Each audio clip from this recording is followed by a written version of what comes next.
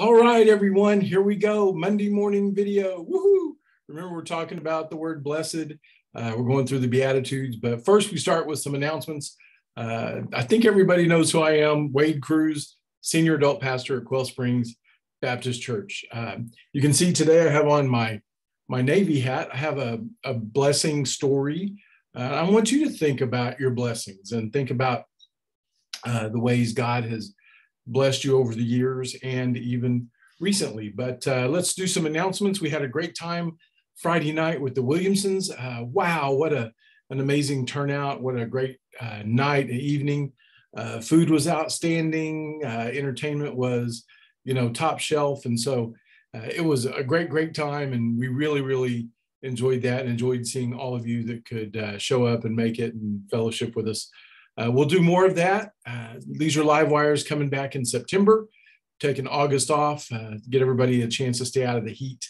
Uh, coming up uh, this weekend, we have our Summit uh, Connect Group slash Sunday School Leadership Training beginning at 4 p.m. For us, for senior adults, that will be in Fellowship Hall. We'll start there and stay there. We'll have some refreshments, some snacks. We'll have a good time of uh, fellowship and, and focus, and we'll facilitate, uh, you know, church work and that kind of thing. We're going to have some informational stuff for you.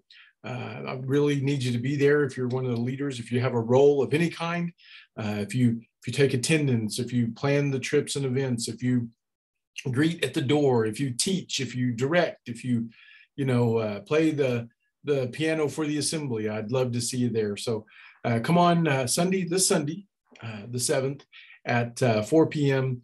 in Fellowship Hall. We'll be there and we'll have a, a, great time. And then the very next Sunday is going to be our Connect Sunday on the 14th, and we'll have a really wonderful time. Many of you uh, purchased uh, t-shirts in advance for that. Feel free to wear those. I think they get picked up this Sunday. I'm, I'm not sure. I haven't seen any yet. I don't have mine, uh, but I encourage you to dress down that day. It's going to be hot. most of the events will be outside uh, starting about 10:30, 10:45. We'll be doing some fellowshipping. There'll be hot dogs and hamburgers and all sorts of things. Lots of water. Lots of uh, time. Bring bring your um, bag chair, your lawn chair. Uh, do that kind of stuff, and uh, then we'll we'll have uh, a good time. Also, we'll have some space inside in fellowship hall uh, for our senior adults that it's just too hot or forgot to dress down and uh, you'll probably even see some young adults walking around in shorts. It's okay. Nobody's going to burst into flames because they're in shorts at church, but uh, it's not, you know, normal and, and it's not the way I dress.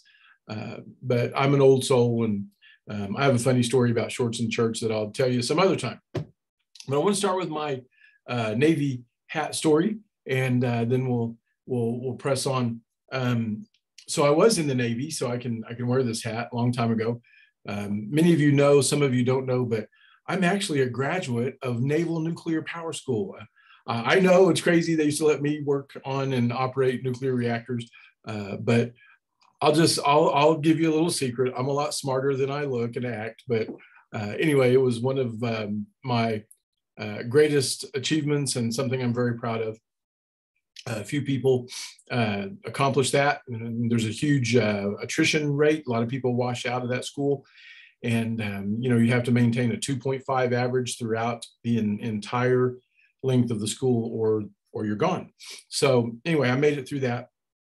But when I was in boot camp, uh, every Sunday was, was your kind of free time, your day off. They kept you very, very busy, even on Sunday. But uh, the little free time you did have was Sunday and most of the guys slept in or you know there were a lot of back in in um, the late 80s or early 80s i went to boot camp 40 years ago in 1982 uh, there were a lot of uh, smokers back then and that kind of thing and that's what they would do.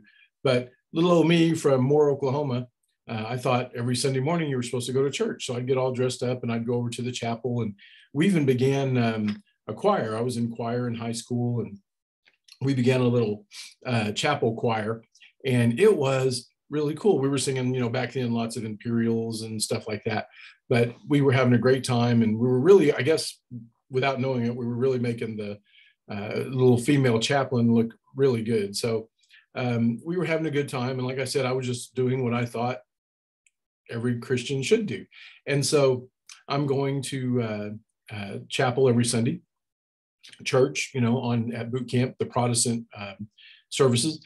And one day, about about the one of my last weeks of boot camp, uh, week seven, eight, something like that, my drill instructor calls me into his office, and he said, "Crews, what do you do?" And I said, "Which time, sir?" And he said, uh, "Well, you're supposed to report to the officers mess. Now, I'm I'm not only just enlisted, I'm a boot camp kid. I mean, I'm I'm nothing. And uh, he goes, you as you get on your dress blues and you be at the officers mess 7:30 a.m. on Thursday. I said, uh, okay, what for? And he said, you're attending the Admiral's prayer breakfast. Wow. Um, it's just one of those things that you don't realize people are watching you. You're just trying to honor God with every step and every breath and do you know what you're supposed to do. So I was the only recruit uh, at boot camp attending this thing. I was representing all the other recruits, and I was sitting at a table with captains and admirals and people from San Diego from the community. Uh, the speaker that day was the the president general manager of the San Diego Padres baseball team, and everybody was asking me, you know, all that. Where are you from, son? And how's boot camp going? And blah blah blah, and all that stuff. And so, anyway, it was just a a real honor. But um, while we don't believe in the theology of prosperity, we do know that God honors people that honor him. And it may not be in ways that, you know, Western civilization would say, wow, you're really blessed. Uh, you're really, you know, I mean, you may not have a lot of property and a lot of, lot of house and a lot of car and all that, but uh, you got a lot of the Lord. And that's what matters. So that's one of my blessing stories. And then I'll finish up with uh, another one at the end. So it's interesting um, when you when you you know earlier we talked about Proverbs one seven, uh, the fear of the Lord is the beginning of knowledge. Fools despise wisdom and instruction. I just find it interesting that the very first thing that happens at the Sermon on the Mount, uh, when Jesus sees the multitude on the mountain, he starts pouring into them. He starts giving them knowledge. He starts discipling them. He starts giving them wisdom and instruction. So I would say the people that despised that were the fools, and the people that received it uh, feared the Lord. So we already talked about the first two Beatitudes. Uh, blessed are the poor in spirit, for the kingdom of heaven is theirs. Blessed are those who mourn, for they shall be comforted. Uh, speaking of that, uh, Wednesday at 10 a.m. in the chapel. If you receive this on Wednesday or after Wednesday, then it will have already passed. But uh, in the chapel, I'm pointing this way because that's where the chapel is from my office. Uh, in the chapel will be the service for Dora Mae Jones. She passed away last week, last Wednesday, and so uh, her her service will be uh, Wednesday, August third, 10 a.m. in the chapel. So if you get to see this before that, and you know her and and uh, loved her and remember her, uh, that's when that service will be. And Dr. Rummage will bring the message, and Ray Griffin will we'll do the the the front side and and, and the closing and and the obituary and things like that. So uh, be a time to come love on her family and honor her memory and that kind of thing and and hear from those guys. So the third beatitude. So I have an English Standard Version here. I also have a King James Version over here because I want you to see the difference. So you have heard it. i am going to do the King James, the more familiar one first. Okay. So remember this word here, blessed, okay, blessed or happy, how happy, okay, here we go, ready? Blessed are the meek, for they shall inherit the earth. Now, now we think of meek as weak. We think of meek as mild. We think of meek as, you know, that doormat that people wipe their feet on. We think of meek as as shriveled up and that kind of thing. But, you know, Jesus, the most powerful uh, being not he's not even in the universe, but he's the creator of the universe. But he's the most he's the supreme being. Um, he went like a lamb to the slaughter. He was meek, uh, wasn't he? Uh, when you look here, it says, "Blessed are the humble, for they will inherit the earth." That's what the English Standard Version says. So that meek, that humble, that selfless uh, kind of posture, uh, that, and look what it says, inherit the earth um, so we, we go from kingdom of heaven to comforted to to the earth, and really, it's it's the right order. The, the Beatitudes are in like this ascending order.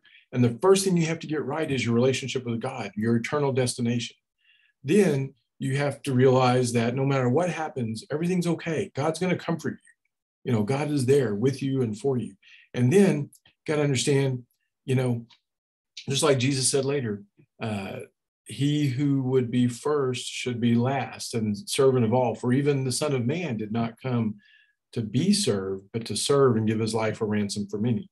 This, this, you've probably heard this before, but that word there for meek or or humble or gentle, it really means, you know, it's a, it's a picture of a horse in a, in a bridle. It really means, you know, a, a kind of form of submission that that you have put yourself down in that humility, that humbleness kind of way, and and you know, you have submitted to an authority of a master. Well, guess what? Um, when you do that, when when it, it describes great power, strength under control, it's not a weak position. It's a strong position that uh, is humble because it's confident and it's confident in the Lord. And when and when you have the confidence of God on your side, uh, when you when you know you don't have to be a jerk or confrontational or whatever to get your way, you know, um, then then the the world is is your oyster kind of thing. And so, you know, the the confidence and the boldness that comes from God, kind of like we've been studying in Elisha, where he has to tell people, "Don't worry, God's got this."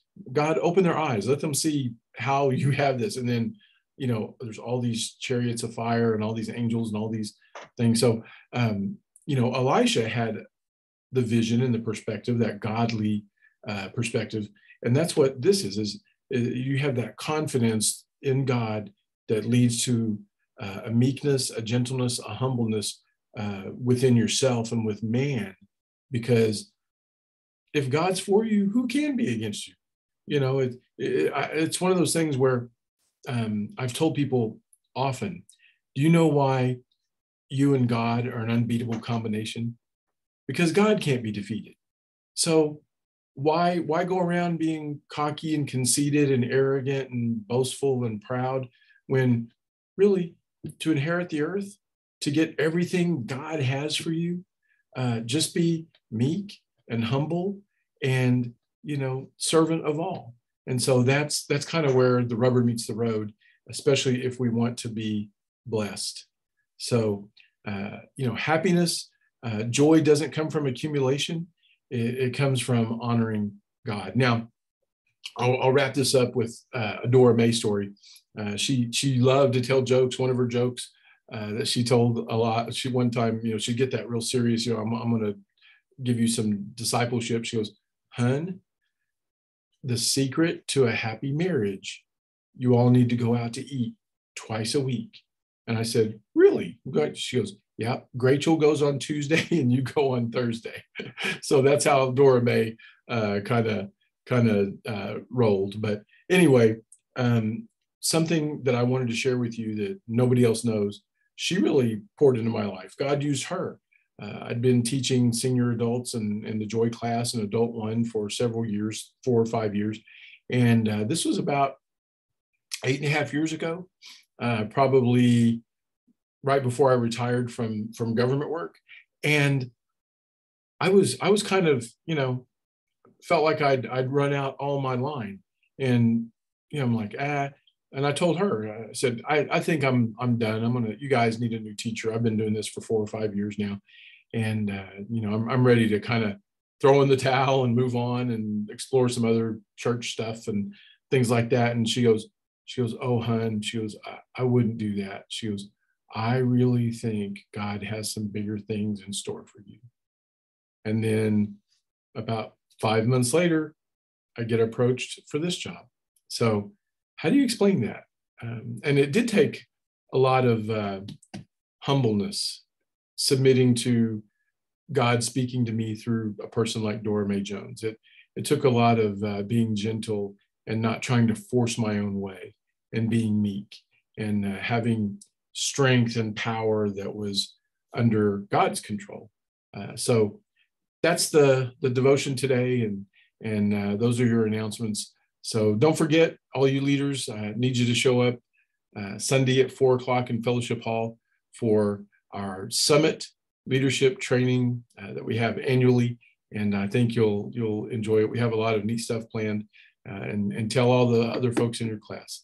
I love you guys, and next week we'll be on to the next. Blessed are those. Bye.